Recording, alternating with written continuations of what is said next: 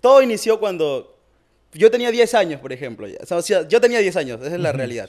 Sí. Y por primera vez tenía un celular en casa. Ajá. Trajeron un celular que era táctil y era ah, su madre para mí, no era nuevo eso ahí. Y me gustaba grabar, grabar. Y grabé un blog sin saber que yo estaba haciendo un blog. Claro. O sea, gente, les voy a presentar mi casa a los 10 años. Miren, acá está mi cuarto, mi, mi pelota, este es mi árbol, bla, bla, mi planta, todo. Así, tal Claro, cual. Tienes que como una publicar nece- eso, ten- pues. ¿Lo tienes grabado o no? No, pues es que yo tal cual, tal cual 10 años después grabaría un video así, lo hice cuando tenía 10 años, 2010. Mira. Tenías como una necesidad de expresarte, digamos. Capaz era instinto, o sea, quizás nacía en mí. Y 7 años después, o 8 años después, 7 años después veo un video de Benja, Claro. Benja Does, que está haciendo Ah, un blog. Y digo, puta, ese es, Esa era mi idea. es lo que yo hice hace 10 años, dije, ¿no? Y me gustaba, y, o sea, no es que me gustó ver su contenido, porque me identifiqué, dije, oye, yo también he hecho eso hace 10 años. Y, y me gustaba cómo, cómo era, cómo hablaba, no sé, lo entendía mucho porque también es de Trujillo. Claro. cómo hablaba. Y, y dije, no, yo, yo también puedo. Si él puede, si él está haciendo contenido en redes, tiene alcance. Si todo. él puede, dice todas esas lisuras, tiene todas esas tomas, Yo- ¿cómo no va a poder, pues? Yo también puedo, digo, o sea, yo también hago eso, o sea, yo también converso así con mis amigos, también, también me salen historias, anécdotas, y ya. ¿Te dije- acuerdas qué video de Benjadoes viste? El primero, primero que vi fue el de, si no me equivoco, el de Perú a Rusia, que clasificó, no, fue, an- iba a clasificar Perú a Rusia. Ah, ya. O el del censo, uno de esos dos fue. Ajá.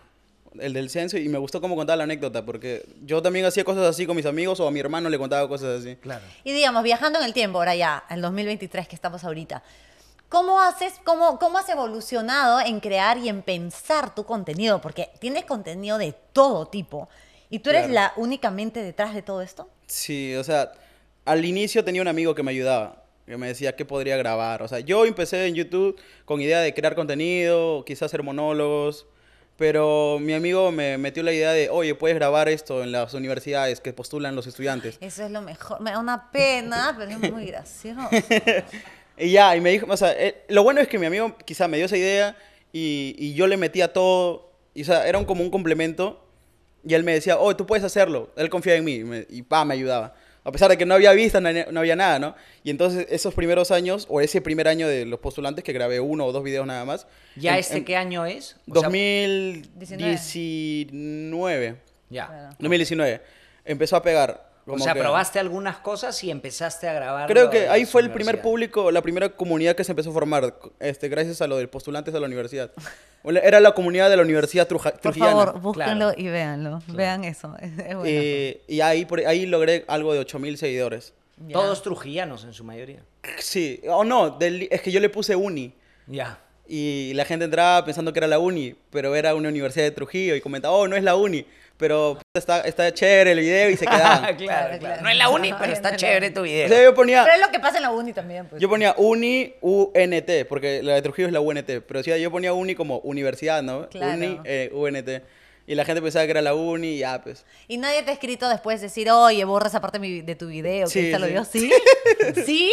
Sí, ¿Y sí, qué, sí. qué le dices? Este, No, nada, nada. ¿Para qué te dejas grabar? Pues? O sea, yo pido permiso para grabar, o pedía permiso, ¿no? Pero es que me da risa que la gente realmente está como que, sí, mi hija va a ingresar, o todo el esfuerzo, ahora sí ingreso. Ok, vamos a poner acá, sí ingreso. No ingreso. No. una pena. Pero, Pero, o sea- me parece espectacular ese contenido, porque es, es muy original y no estás haciendo nada mal, o sea, estás poniendo realmente cómo son las cosas y mostrando también una realidad del país, que es qué duro es ingresar a la universidad, qué duro para tantos jóvenes. ¿no? Claro, y hay cosas ocurrentes, graciosas que pasan en el instante. ¿no? Pero y esto ocurre en el 2019 A partir de y empiezas a tener, digamos, un poco de éxito en el 2019. Me imagino que tienes un montón de planes para el 2020 y justo cae la pandemia. O sea, en sí no, yo estaba con la universidad, yo lo llevaba paralelo, era como que un hobby, no lo hacía por dinero, lo hacía porque me gustaba. Y ya empezaba a formar la comunidad y que la gente lo vea ya te motiva, ¿no? Y ya para el 2020, que nos quedamos en cuarentena, no sabía qué hacer y empecé a grabar videos, los vlogs que, se, que recordaba de niño y que había visto también en otros creadores de contenido. Y más que todo nació a partir de que había visto videos, por ejemplo, de uno de la divasa que decía, Claro. o de la Jose, no sé, pero decía mi mansión. Bienvenidos a mi mansión. Y enseñaba su mansión, de verdad, pero una mansión, ¿no? Y Después vi un video de Benja que decía mi casa también. Y yo decía, "Puta, yo también puedo hacer lo mismo en mi mansión, pero mi mansión no es una mansión, mi mansión es como que una parodia de una mansión, es lo contrario, ¿no? Claro. Y eso es gracioso, pues, ¿no? Sí, eso Como que eh, hacer una exageración o, o algo contrario, un antónimo de lo que realmente está. Y, y lo hice. Y grabé. En el, ese fue un blog en el 2019, en enero. Grabé mi, mi, mi mansión, según yo. Y ya para la cuarentena del 2020 dije, ¿por qué no volver a grabar mi mansión? Mi pero mansión en cuarentena. En cuarentena. Y puse Claro. cuarentena en mi mansión. Claro, así se llama. Ah. Cuarentena en mi mansión. Y, y ese video despegó. Claro. O sea, tenía videos que no eran muy vistos, tendrán sus 600 vistas, 500 vistas. Los que sí eran vistos eran los de las universidades postulantes, que tenían sus 10.000 o 20.000 vistas. Pero después que llegó cuarentena, grabé cuarentena en mi mansión, pa, 10.000 vistas de golpe y dije, ah, su. Claro. Grabé de nuevo, me, me- me motivé. Dos días después grabé de nuevo. En mi Y mansión, ahí parte fue- 2. Y ahí fue que empezaste a involucrar a tu mamá y a tu hermano. Claro, porque era lo que el entorno que Claro, tenía, lo lo que me quedaba hacer o, o los recursos que tengo, tengo que tomarlos, ¿no? Claro, claro. Con lo que tengo, debo hacer. Claro. Y, por ejemplo, dos días después me motivé y, y grabé otro video, este, ¿qué hacer en cuarentena si eres pobre? Porque había visto qué hacer en cuarentena, Claro. pero de gente que, que tenía que hacer en cuarentena, ¿no? Limpia, hace esto, compra el otro. Yo no tenía nada, yo qué hacer en cuarentena, pero si eres pobre, porque ese- esos videos no les servían a los que eran pobres, ¿no? Los de cuarentena normal.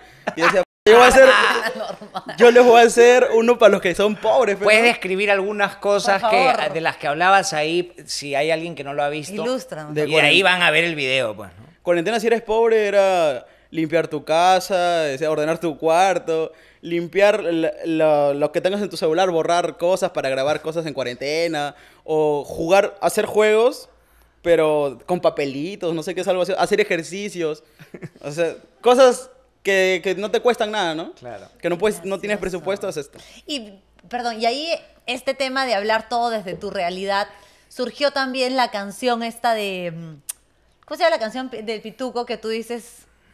Ah, La, la más viral tuya, ese fue el nombre. ah la, la, eh, la del el pata, Gaby. Ya, ya, de Gaby Boy, la canción de Claro. Gaby Boy, pero que tú le has dado toda la vuelta. Exacto, ¿ves? Esa Ahí es va. una genialidad. Es, es utilizar nuevamente el recurso que utilicé para lo de la mansión, pero ahora con la... Exacto, exacto. Era, es un recurso que yo utilizaba desde, desde siempre, o sea, siempre me burlaba de la pobreza, ¿no? En realidad.